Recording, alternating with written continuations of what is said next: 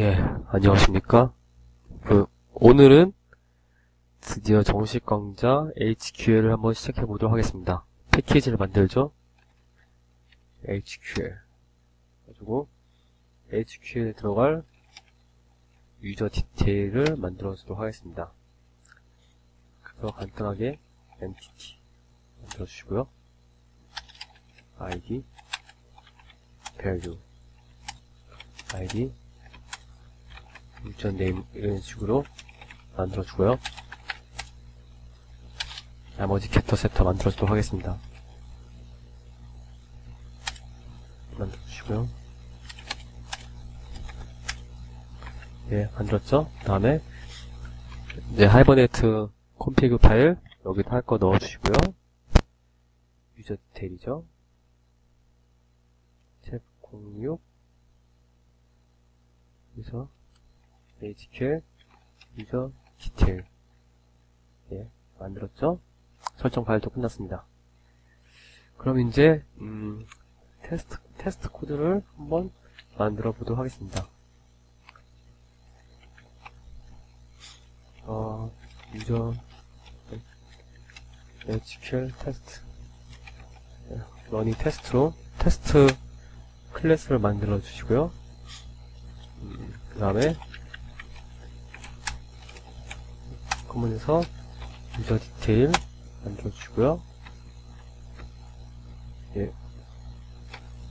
다음 user detail user detail 예.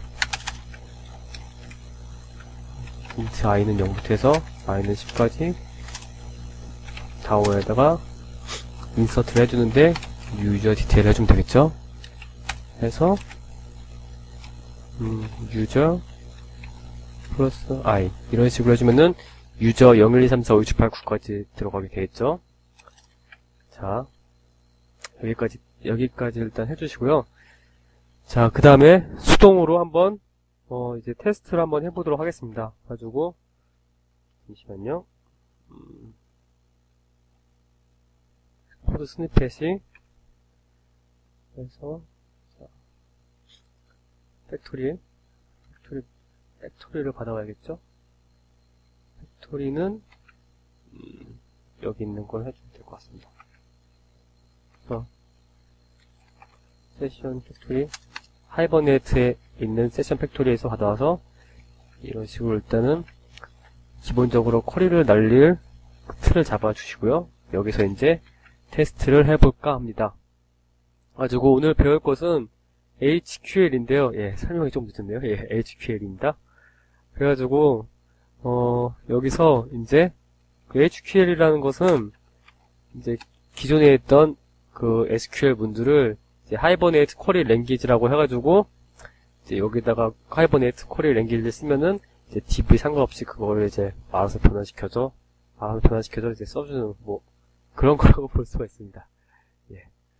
일단 한번, 센서 좀 크레 일단 저번 시간에도 했었는데 저번에 그 CR 유저 만들 때도 얼핏 하긴 했었는데 이런 식으로 만들었었죠.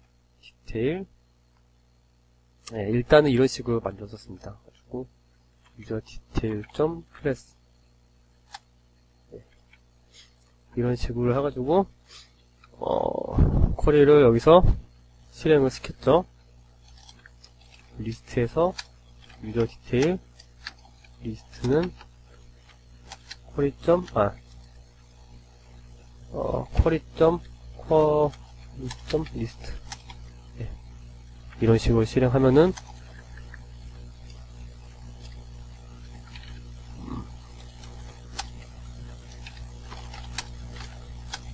한번 돌려볼까요?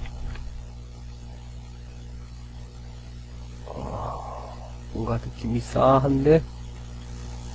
들어가라. 예.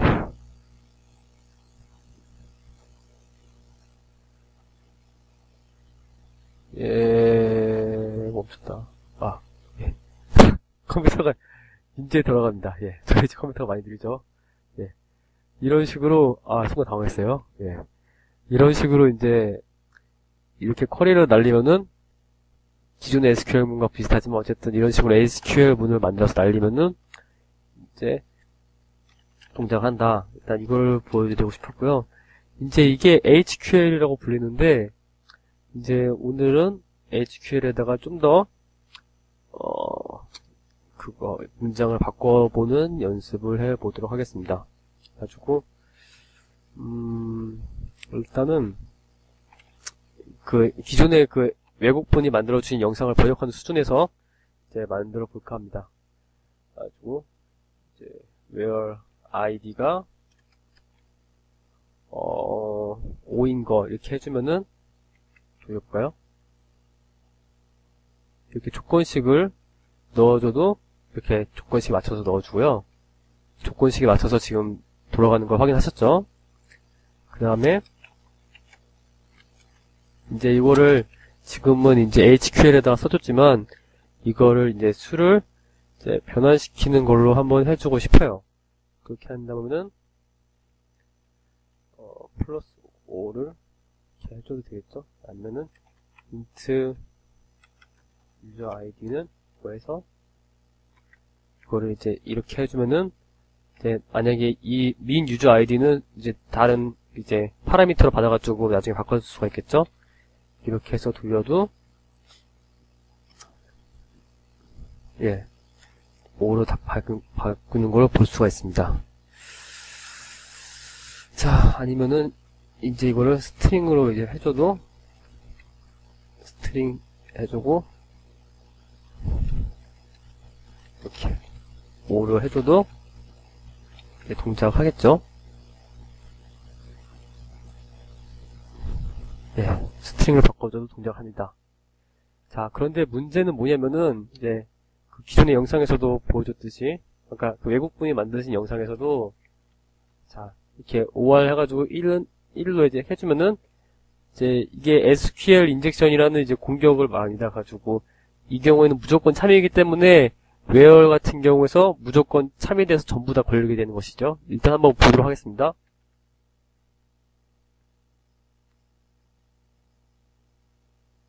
이렇게 해주면은 지금 10개가 전부 나오게 되는 것이죠. 예. 그렇기 때문에 어, 이런 지금 변수를 넣어주는 방법보다는 다른 방식을 방식을 좀 더 선호하게 됩니다. 다른 방식을 좀 더 선호하게 되는데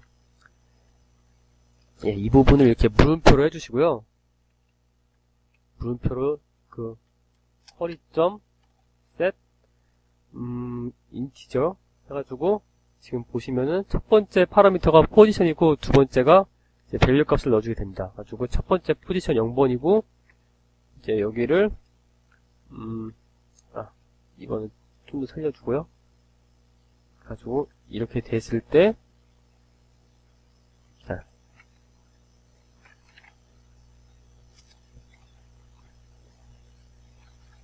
이렇게 됐을 때 이거를 파싱을 해서 pass int user id 이런 식으로 돌려주게 되는 것이죠. 한번 동작해 보도록 하겠습니다. 이번에 다섯 가 다섯 개가 나오겠죠?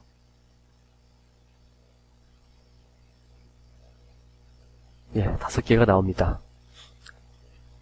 그리고 뭐 파라미터가 이제 두 가지인 경우도 있어요. 그래가지고 and user 아, 이게 아니라 user detail에서 username이 and username이 이런 경우 예 이런 경우 뭐 username을 이제 아이디가 5 이상인 경우에서 username이 뭐 9인 경우를 뽑고 싶다. 그렇게 하면은 query.set string 해서 두 번째 물음표는 뭐 이제 유저 9 이런 식으로 뽑아줄 수도 있겠죠. 이렇게 하면은 이제 유저 9만 뽑는 거니까 한 개만 나오겠죠? 돌려보도록 하겠습니다.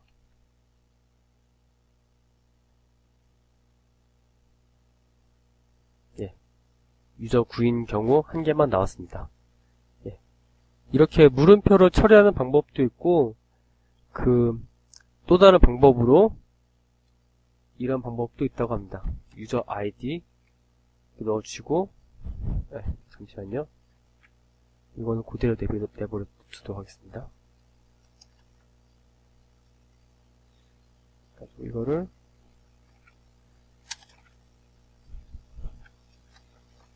유저 아이디, user name은 user name 이런 식으로 문자열을 지정해줘서 query.set int 하면은 여기 두 번째 지금 함수가 있죠? method가 있죠? 가지고 name으로 지정해 주는 방법도 있습니다. 그리고 user ID는 음 이걸 좀 뽑아야겠네요. 디즈.점 플러스 인트 유저 아이디 이런 식으로 해줘도 되고요. 그 다음에 query query.점 string 여기도 두 번째로 유저 네임은 유저 9 이런 식으로 해줘도 동작을 합니다. 볼까요? 예, 이런 식으로 해줘도 유저9로 동작을 합니다. 예, 오늘은 짧게 이 정도로 마치도록 하겠습니다. 예, 감사합니다.